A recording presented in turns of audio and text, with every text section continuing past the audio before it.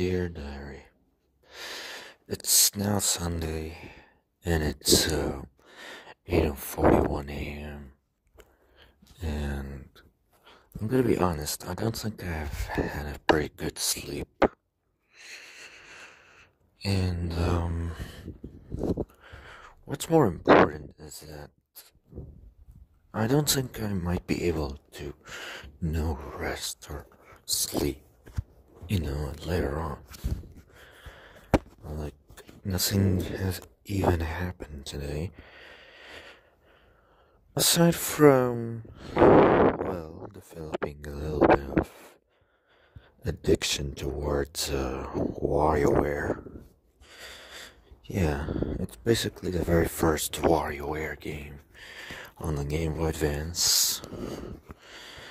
And it isn't by the way, my first year ever playing that, but it's honestly my late year of playing that after a long time.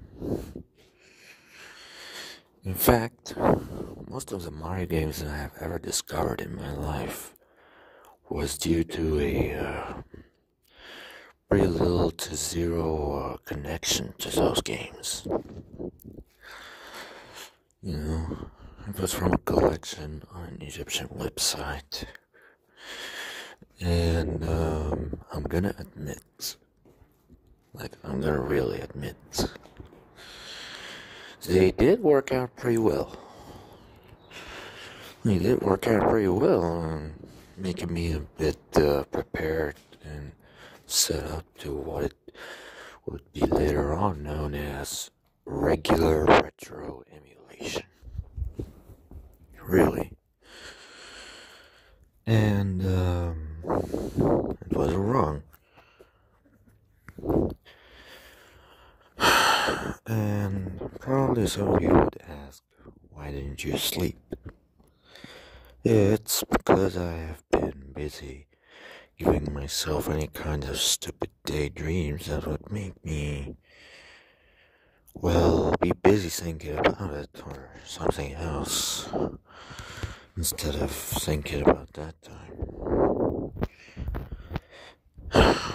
But it didn't work and it resulted in me waking up at 6 or earlier.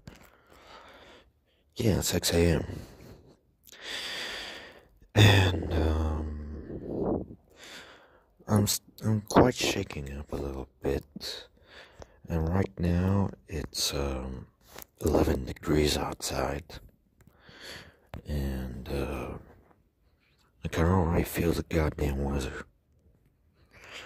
Now, some of you would ask, how are you feeling the cold when you're inside your house? Well, we live next to a desert. Well, an area that used to be only a desert. But then uh, nowadays there mm, turning it into some kind of a basically an area with tons of houses and whatsoever and business houses related stuff. And it's been being built on for like years. But even though we live next to a desert somehow a ridiculously very cold weather is coming on to us it's like we're somehow a bit close to a to a sea or some shit. And I'm not even in the areas that actually have the sea in front of any house or some shit. Like holy damn. Like why? And not to mention well how I am still feeling like it's almost as it's impossible to move on without a without something that would make me completely forget.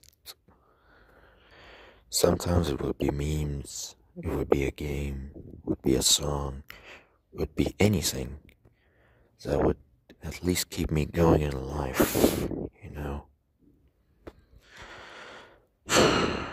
There might and today I have discovered something that I probably didn't want to bother with it, but I'm just gonna bother with it anyways, cause fuck it.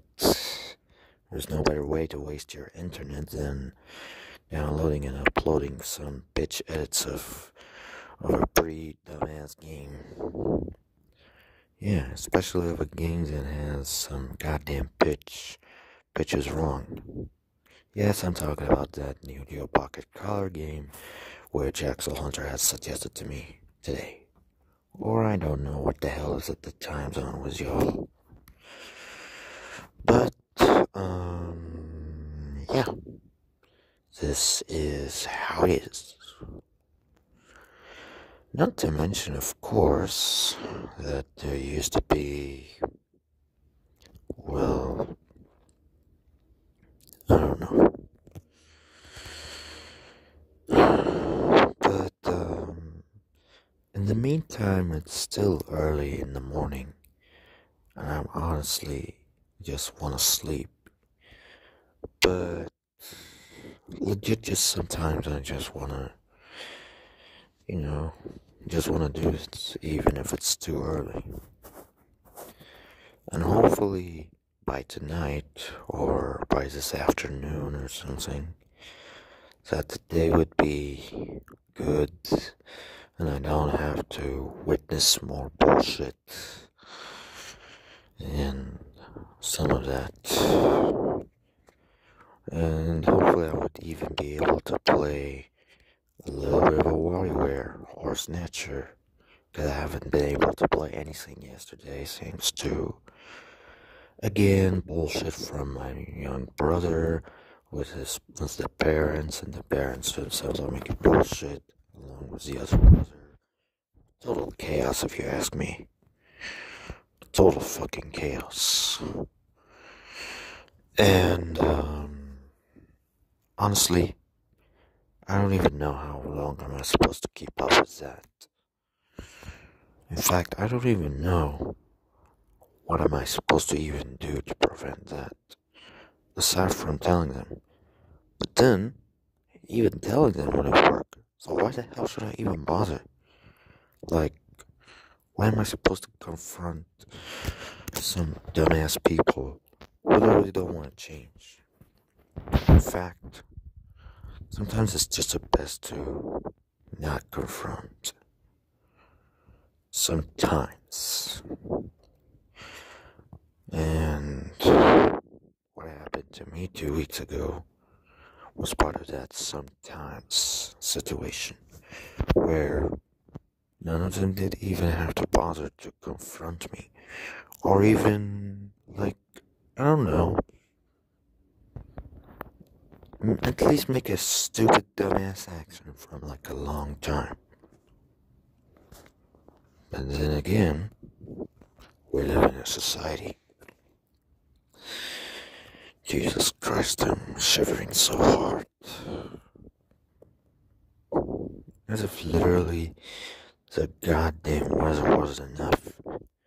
And literally, it's like I'm getting worse instead of better. But I mean, what can you do? I'm literally suffering. But then again, who the hell would even be here? No one.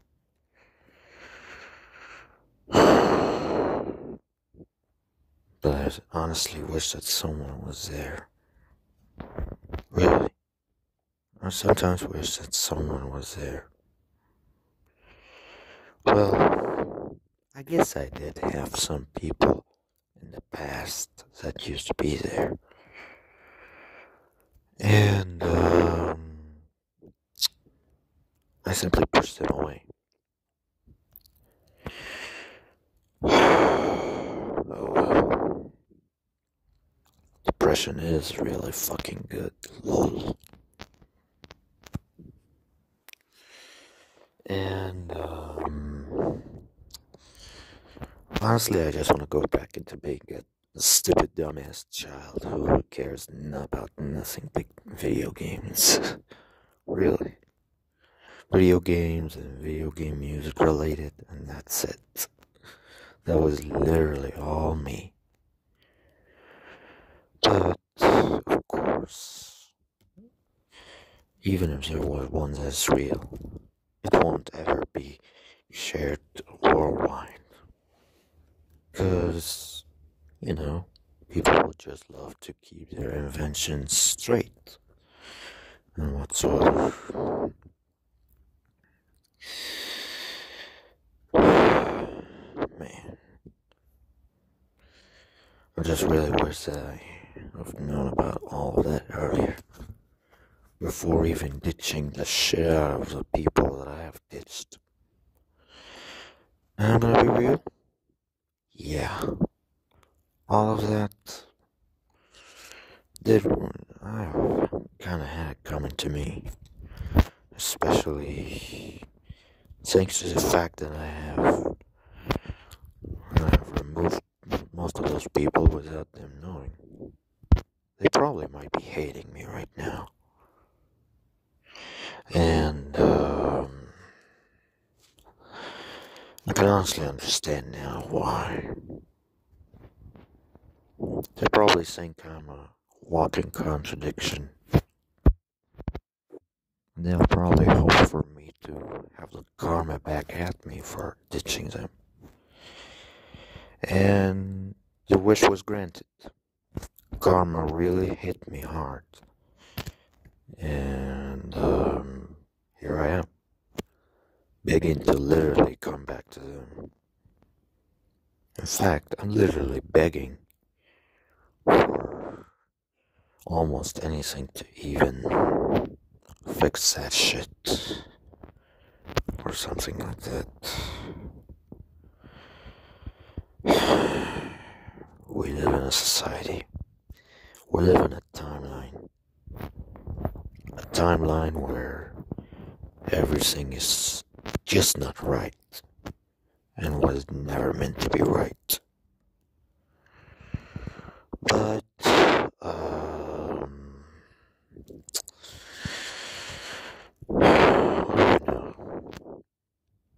I guess it is how it's gonna be is. And um, the least that I can do is just literally sticking to my corner and um, not try to bother. Because for one to stick in his corner is legit the best way to go at it. Because honestly, if I went out uh, out of my corner or my circle again,